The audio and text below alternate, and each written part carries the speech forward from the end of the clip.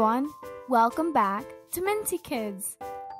Today we're going to be reading this wonderful book called The Poky Little Puppy by Jannette Sebring Lowrey and illustrated by Gustaf Tenggren. This video is dedicated to an amazing 8-year-old boy named Donovan. Hi Donovan! We hope you like this video, it's just for you. We want you to know that you can do this. You are loved and important not just to your family, but to us as a fan of Minty Kidz. Anyway, let's get to it. Five little puppies dug a hole under the fence and went for a walk in the wide, wide world. Through the meadow they went, down the road, over the bridge, across the green grass, and up the hill, one right after the other. And when they got to the top of the hill, they counted themselves. One, two, three, four. One little puppy wasn't there. Now, where in the world is that pokey little puppy? They wondered, for he certainly wasn't on top of the hill. He wasn't going down the other side. The only thing they could see going down was a fuzzy caterpillar. He wasn't coming up this side. The only thing they could see coming up was a quick green lizard. But when they looked down at the grassy place near the bottom of the hill, there he was, running round and round, his nose to the ground. What is he doing? The four little puppies asked one another, and down they went to see. Roly poly, pell mell, tumble bumble, till they came to the green grass, and there they stopped short. What in the world are you doing? They asked. I smell something, said the pokey little puppy. Then the four little puppies began to sniff, and they smelled it too. Rice pudding, they said. And home they went as fast as they could go, over the bridge, up the road, through the meadow, and under the fence. And there, sure enough, was dinner waiting for them, with rice pudding for dessert.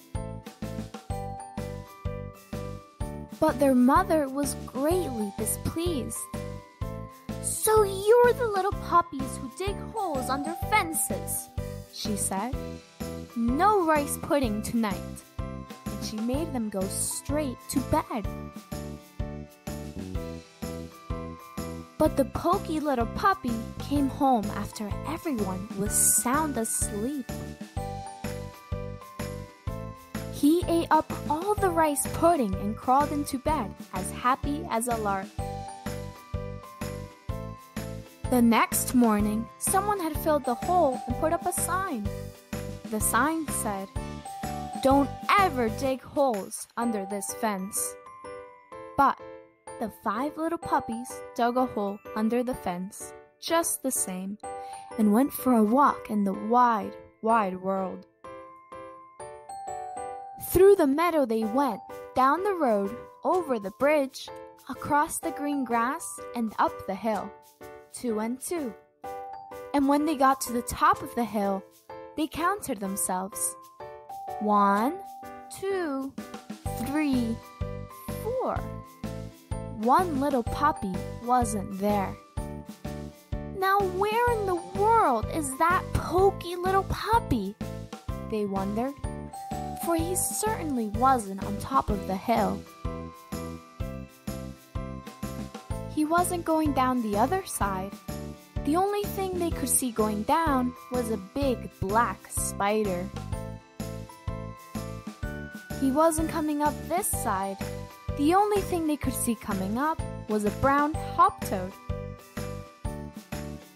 But when they looked down at the grassy place near the bottom of the hill, there was the pokey little pup, sitting still as a stone, with his head on one side and his ears cocked up. What is he doing? The four little puppies asked one another, and down they went to see.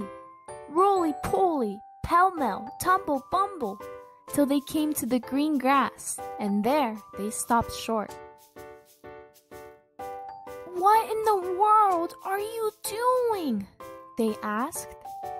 I hear something, said the poky little puppy. The four little puppies listened, and they could hear it too. Chocolate custard! they cried. Someone is spooning it into our bowls. And home they went as fast as they could go, over the bridge, up the road, through the meadow, and under the fence. And there, sure enough, was dinner waiting for them, with chocolate custard for dessert. But their mother was greatly displeased. So you're the little puppies who will dig holes under fences, she said. No chocolate custard tonight. And she made them go straight to bed. But the poky little puppy came home after everyone else was sound asleep, and he ate up all the chocolate custard and crawled into bed as happy as a lark. The next morning, someone had filled the hole and put up a sign. The sign said, Don't ever, ever dig holes under this fence. But, in spite of that, the five little puppies dug a hole under the fence and went for a walk in the wide, wide world. Through the meadow they went, down the road, over the bridge, across the green grass, and up the hill two and two. And when they got to the top of the hill, they counted themselves. One, two, three, four. One little puppy wasn't there.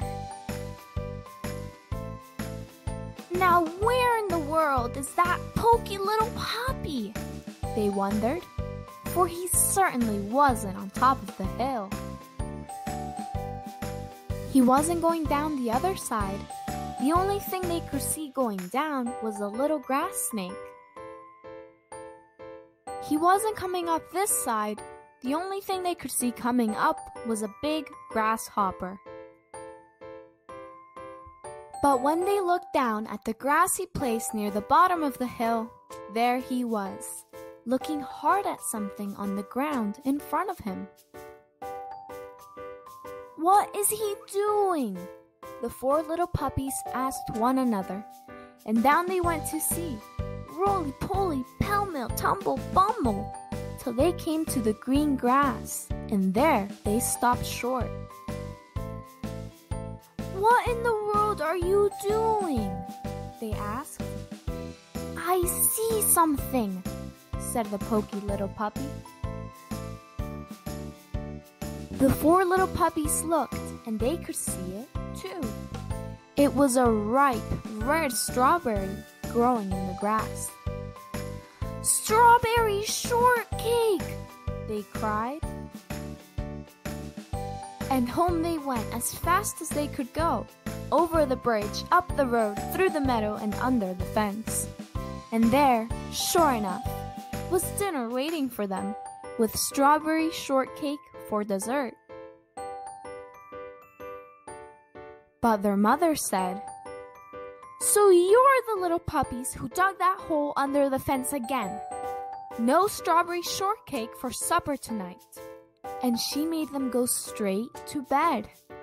But the four little puppies waited till they thought she was asleep. And then they slipped out and filled up the hole. And when they turned around, there was their mother watching them. What good little puppies, she said. Come have some strawberry shortcake. And this time, when the poky little puppy got home, he had to squeeze in through a wide place on the fence. And there were his four brothers and sisters licking the last crumbs from their saucers. dear me, said his mother. What a pity you're so pokey. Now the strawberry shortcake is all gone. So the pokey little puppy had to go to bed without a single bite of shortcake, and he felt very sorry for himself. And the next morning, someone had put up a sign that read, No desserts ever unless puppies never dig holes under this fence again. Well, everyone, we have finally reached the end of this story, but thank you so much for reading with me. I hope you liked this video, Donovan. Make sure to subscribe and stay tuned for this week for more videos and stories like this one. Bye!